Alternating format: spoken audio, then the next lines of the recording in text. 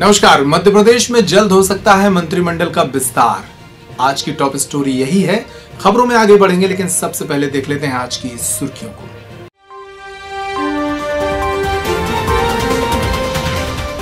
दिल्ली जा सकते हैं शिवराज सिंह चौहान। केंद्रीय नेतृत्व की हरी झंडी मिली तो 30 जून तक मंत्रिमंडल का विस्तार तय। मंडला में एनएसयूआई जिला महासचिव की गोली मारकर हत्या, आरोपी मौके से फरार। कांग्रेस ने उठाए शिवराज सरकार पर सवाल। मध्य प्रदेश के तमाम जिलों में धूमधाम से पहुँचा मानसून, तेरह जिलों में 24 घंटे के भीतर भारी बारिश की चेतावनी। सुर्खियों बाद खबरों के विस्तार पर नज़र डालते हैं और सबसे पहले देख लेते हैं मध्य प्रदेश की सियासत की सबसे बड़ी खबर को। अगर सब कुछ ठीक रहा तो 30 जून तक मध्य प्रदेश मंत्रिमंडल का विस्तार हो सकता है।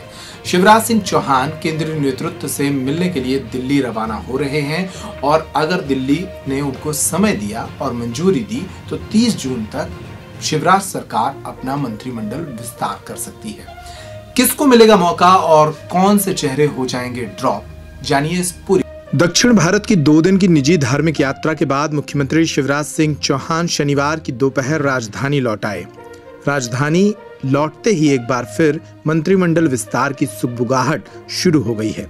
सूत्रों का कहना है कि संभवतः मुख्यमंत्री आज रात या रविवार सुबह दिल्ली जा सकते हैं। उन्होंने केंद्रीय नेतृत्व से मिलने का समय मांगा है। सूत्रों का कहना है कि अगर केंद्रीय नेतृत्व से समय मिलने के बाद मुख्यमंत्री दिल्ली जाते हैं तो पूरी संभावना है कि आगामी 30 जून को नए मंत्रिमंडल का विस्तार हो सकता है। इससे पहले राज्यपाल लालजी टंडन के अस्वस्थ होने के चलते छत्तीसगढ़ की राज्यपाल अनसुईया उइके को मध्य प्रदेश का प्रभार दिया जा सकता है।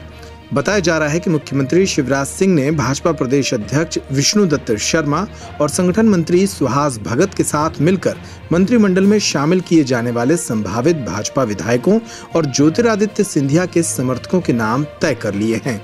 बताया जा रहा है कि जाति क्षेत्र और सामाजिक संतुलन के साथ पार्टी में ऐसे सीनियर विधायक को तवज्जो दी गई है, जो पिछली सरकार में मंत्री नहीं बन पाए थे।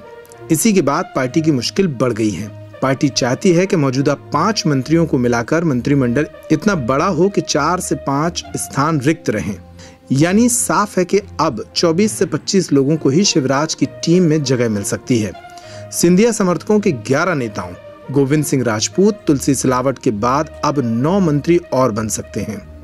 कांग्रेस के बागियों में प्रभुराम चौधरी प्रदुम्न सिंह तोमर, महेंद्र सिसोदिया, राज्यवर्धन सिंह दत्तीगांव, बिसाहूलाल सिंह, एंदल सिंह कंसाना हरदीप सिंह डंग का नाम शामिल है। वहीं भाजपा के दो मंत्री बन चुके हैं, लिहाजा 15 से 16 नए चेहरे भाजपा से तय करने हैं। बिंद बुंदेलखंड और भोपाल संभाग से पार्टी का दबाव है, ऐसे में कुछ पुराने चेहरे ड्रॉप हो सकते हैं। मंत्रिमंडल विस्तार में बसपा, सपा और निर्दलीय विधायकों को शामिल नहीं किया जाएगा। हालाँकि बसपा से निलंबित विधायक रामबाई कई मौकों पर भाजपा नेताओं द्वारा मंत्री बनाए जाने के वादे का ज़िक्र कर चुकी हैं। इधर ये भी कहा जा रहा है कि इन विधायकों को निगम मंडलों में कमान सौंपी जा सकती है। वहीं पूर्व मंत्री गोपाल भार्गव पर अब भी संशय बरकरार है। मुख्यमंत्री शिवराज सिंह चौहान भाजपा के वरिष्ठ विधायक गोपाल भार्गव को क्षेत्रीय संतुलन के चलते विधानसभा अध्यक्ष बनाना चाहते हैं, लेकिन गोपाल भार्गव इसके लिए तैयार नहीं है। उन्होंने केंद्रीय नेतृत्व के सामने अपनी बात रख दी है। इसके बाद उन्होंने मुख्यमंत्री से मिलकर भी अपना पक्ष रख दिया है। अगली खबर की तरफ़ रुख करते हैं। मध्य प्रदेश के मंडला में एनएसयूआई के जिला महासचिव सोनू पारोचिया की गोली मारकर हत्या कर दी गई है। उनकी हत्या बीती रात उस वक्त की गई जब वे अपने चचेरे भाई के जन्मदिन की पार्टी में शामिल होकर घर लौट रहे थे। घटना मंडला ज़िले के महाराजपुर इलाके की बताई जा रही है। हत्या के बाद आरोपी फरार हैं। अब कांग्रेस ने इस पर शिवराज सरकार को घेरा है। मंडला में शुक्रवार की रात संभागीय राष्ट्रीय छात्र संगठन, यानी कि एनएसयूआई के मंडला जिला महासचिव सोनू परोचिया की गोली मारकर हत्या कर दी गई। परोचिया अपने दो दोस्तों के साथ चचेरे भाई की जन्मदिन की पार्टी मनाकर बाइक से घर लौट रहे थे। आरोपी जबलपुर का रहने वाला बताया जा रहा है। पुलिस के मुताबिक शुक्रवार शनिवार की रात सोनू अपने चचेरे भाई की जन्मदिन की पार्टी से शामिल होकर महाराजपुर के पास एक ढाबा में गए थे। वहाँ से वह बाइक पर अपने दो दोस्तों के साथ घर लौट रहे थे। रास्ते में उनकी बाइक को एक बोलेरो गाड़ी ने टक्कर मार दी। इसके बाद आरोपी ने गाड़ी से उतरकर सोनू के सीने में गोली मारी और वहाँ से भाग गया। गंभीर हालत में उसे मंडला जिला अस्पताल लाया गया, जहाँ डॉक्टरों ने उसे मृत घोषित कर दिया। घटना के दौरान सोनू के साथ बाइक पर उसके दोस्त दिगंबर बैरागी और दीपक भी मौजूद थे। एनएसआई नेता की हत्या के मामले में कांग्रेस के पूर्व मंत्री पीसी शर्मा ने शिवराज सरकार पर सवाल खड़े किए हैं। उन्होंने कहा कि शिवराज सिंह चौहान की सरकार प्रदेश में तमाम क्षेत्रों में फेल हो चुकी है। लगातार हत्या, बलात्कार, लूट, डकैती के मामले बढ़ रहे हैं। अगली खबर की तरफ़ बढ़ते हैं। मध्य प्रदेश में मानसून की दस्तक हो चुकी है और झमाझम बारिश का दौर भी शुरू हो गया है।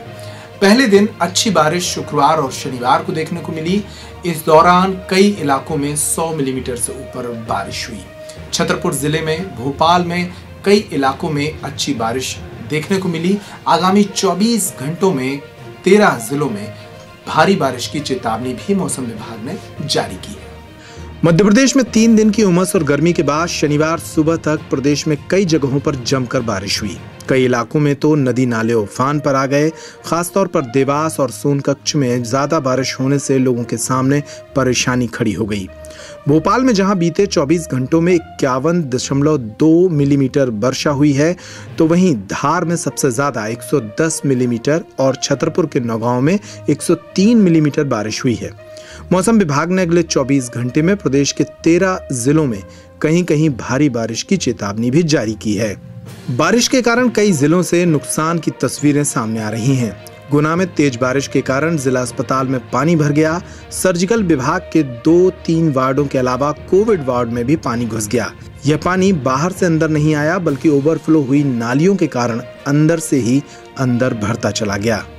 तो आज के बुलेटिन में इतना ही। तमाम खबरों के लिए आप बने रहिए पेप्टिक टाइम मध्य प्रदेश समाचार पर। अपने ज़िले की छोटी बड़ी तमाम खबरों के लिए हमारे चैनल को यूट्यूब पर सब्सक्राइब कर लें और फेसबुक पर लाइक कर लें। नमस्कार।